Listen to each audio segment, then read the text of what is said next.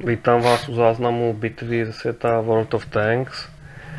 Je zajímavá nikoli v tím, jak bych eh, hrál, že bych ukázal nějaké skvělé manévry a la Quickie Baby, ale spíše zajímavá tím, že eh, máme šanci na výhru 34%. To je poměrně číslo, které vydávám často a na rozdíl od těch všech ostatních 99 bitev, tak tady u této sté se mi podařilo zvítězit poměrně hezky a proto si to tady ukážeme. Naučil jsem se trošku hrát tady v té sestavě, kdy v mých řadách jsou začátečníci. Začátečníka poznáte podle toho, že jeho jméno nebo ten jeho typ stroje je vybarven červeně, když máte příslušný addon.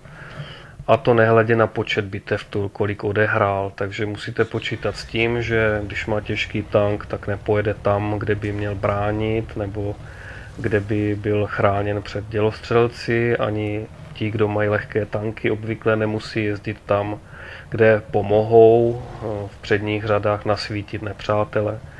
Takže já jsem uspůsobil svůj styl hry tomu a říkal jsem si, budu si tady hrát na lehký tank, schovám celé vlastně celé tělo toho tanku, včetně hlavně a budu tady odhalovat nepřátele. Mám i k tomu přizpůsobený, vlastně tady máme binokulární dalekohled a mám maskovací síť a tady vidím také začátečníka v řadách nepřátel OI. Už prohráváme 0-1, tam bylo vidět, že ze severu náš hráč se pokusil stylem beranidlo zničit všech 15 nepřátel na jednou a bohužel se to nepodařilo. Tento soupeř také si říkal, že bude tankista hrdina, Knispl minimálně, takže vzal osud bitvy do svých rukou a pokusil se v prvních minutách ukořistit základnu. Já jsem měl to štěstí, že jsem ho dvakrát zasáhl, po třetí jsem už netrefil přes to křoví, ale naštěstí spojenci dílo dokonali a snad do příští bitvy tento hráč e, bude e, měnit taktiku. Pokud bude aspoň v mých řadách. Teď si ukážeme přesnost děla Škody T25. První rána vedle, doměřená, druhá vedle a třetí odrazila se. Takže zkusíme čtvrtou po dobití zásobníku. Tak, chvíle napětí, hlína. Takže až na pátou ránu dáme damage. Průměrná damage je 110. Nepřesnost děla je 0,4 metrů na 100 metrů. A vězte, že pokud průměrná damage je 110, tak eh, když má tank 109 života, vydáte damage za 108. To si můžeme v této bitvě také ukázat názorně. To znamená, matematika vodka funguje eh, jako jsme zvyklí. Tady nepřátelský lehký tank se zkoušel dobít do pozic dělostřelectva našeho, naštěstí neuspěl.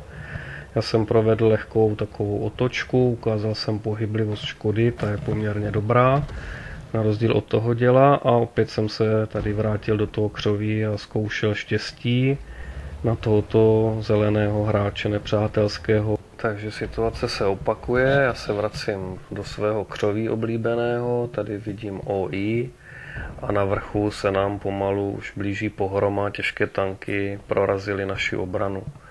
Na OI vystřelím propagačně, abych ho trošku zahnal, protože to je také červený hráč, takže vidím, že je pasivní, čeká tam, myslí si, že je sniper a e, v podstatě nemá pro, pro ty svoje spojence nějaký přínos.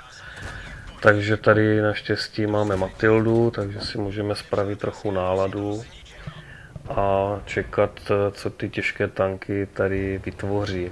Naproti nám vidíme, že vlastně už eh, ty tanky stojí a v podstatě by mohli zahájit postupný útok, aby nás dostali do křížové palby.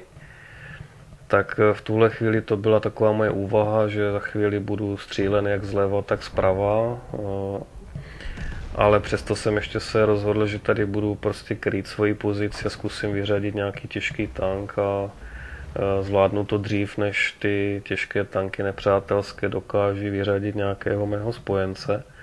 To se nedaří, protože za chvíli tady uvidíme, že nám vyřadí z boje tu T-3485. Neměl jsem žádnou prostě střeleckou pozici, která by umožnila tady tu situaci nějak změnit a vyjetím jsem nechtěl riskovat své odhalení.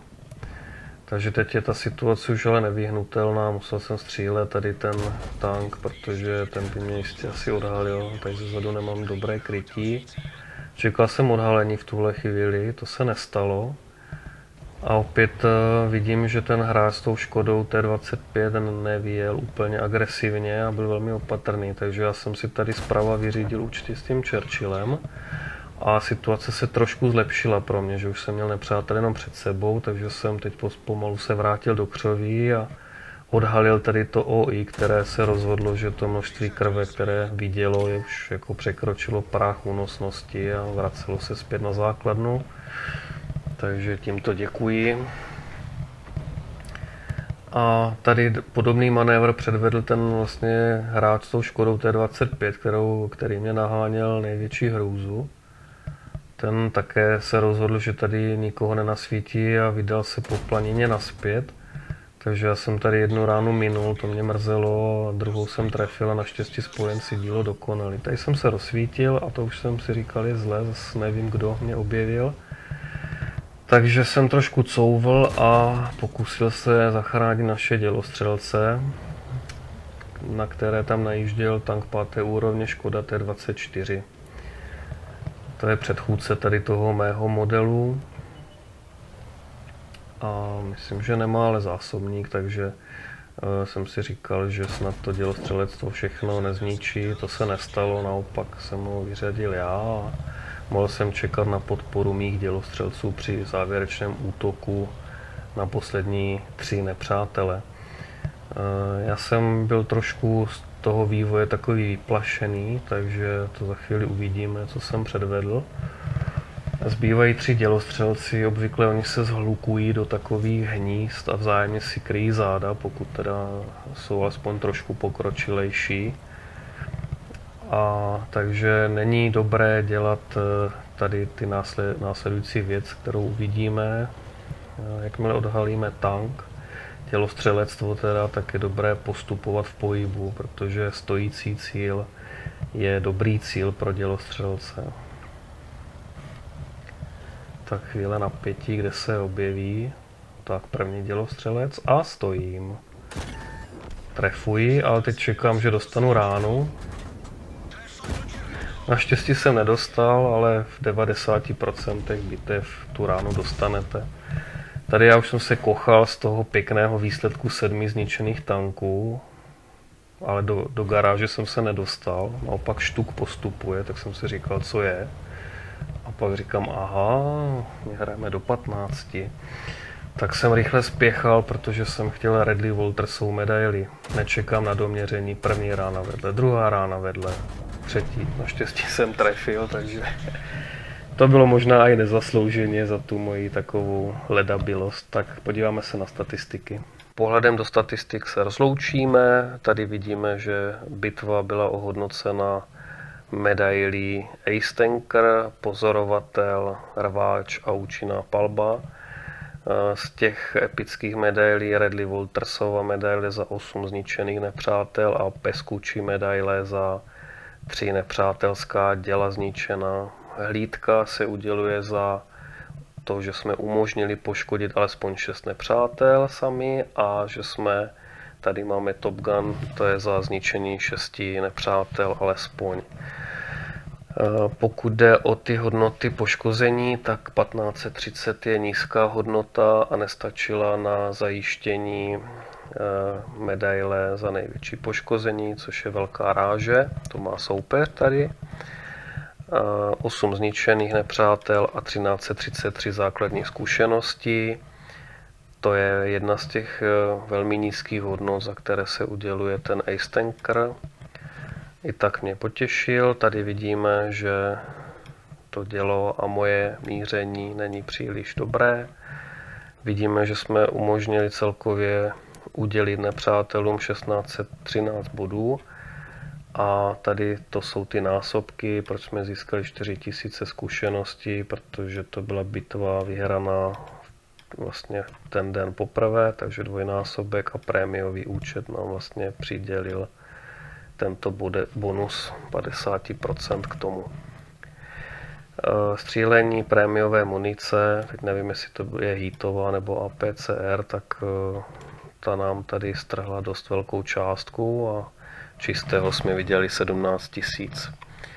Děkuji za pozornost a někdy příště na viděnou.